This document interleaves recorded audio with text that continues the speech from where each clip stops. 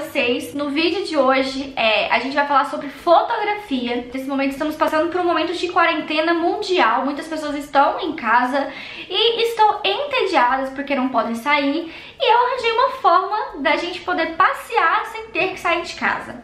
É, eu publiquei uma foto minha no meu Instagram e muitas de vocês me perguntaram como é que eu fiz aquela foto. Então hoje eu vou mostrar pra vocês como é que eu fiz essa foto. A foto do meu Instagram já agora, se vocês quiserem me seguir, meu Instagram é Manu Alves OFC, eu vou deixar aqui embaixo pra vocês. E a foto, gente, é essa daqui, ó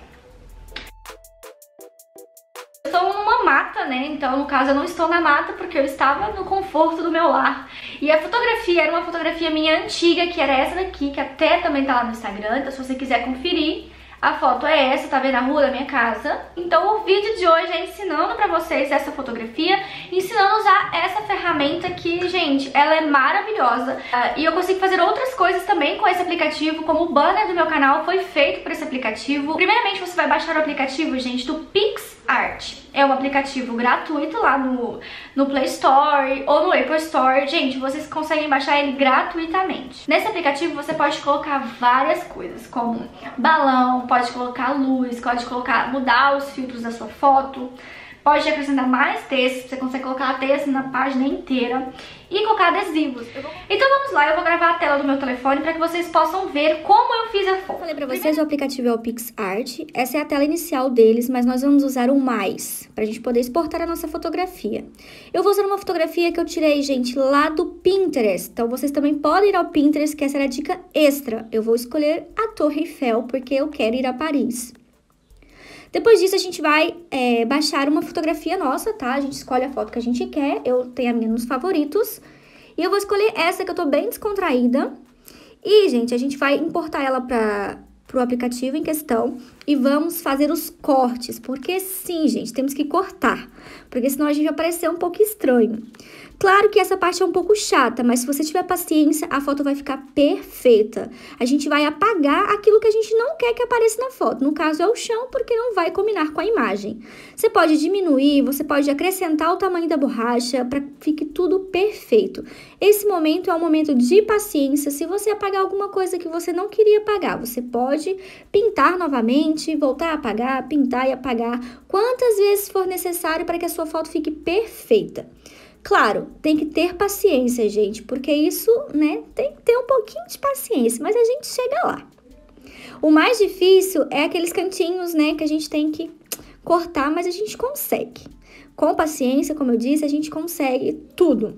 E a gente quer fazer uma viagem super maneira, então é assim que a gente vai fazer.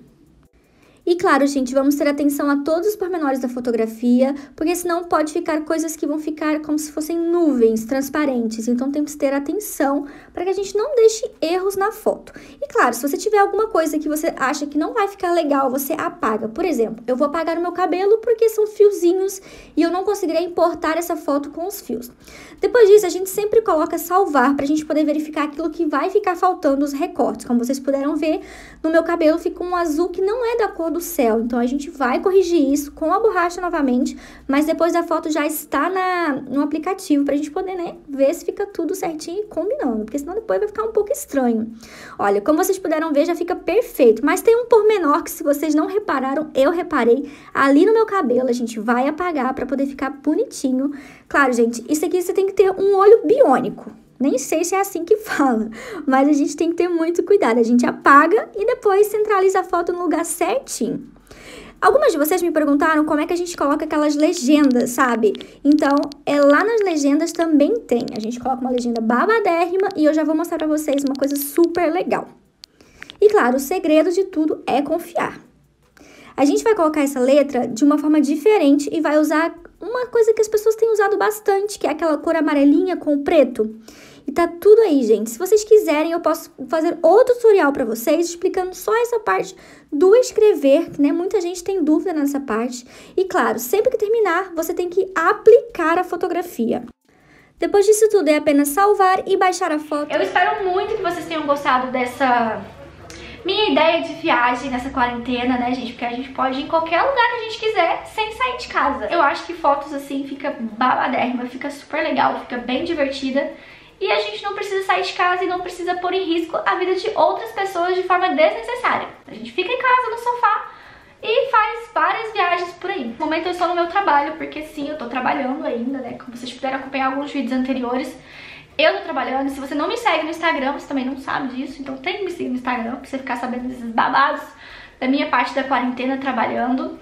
E é isso, gente. Eu espero muito que vocês tenham gostado. Eu espero que vocês façam altas fotos. E se vocês fizerem fotos usando o aplicativo da PixArt, me marca, tá? Que é pra eu ver a fotinha de vocês e pra eu ver a originalidade e onde vocês foram viajar sentados no sofá. Então é isso. Um super beijo pra vocês. Fiquem com Deus e até o próximo vídeo. Ah, se inscreve aqui no canal e vem fazer parte dessa família linda e maravilhosa e que está crescendo. Eu estou muito feliz por vocês estarem aqui.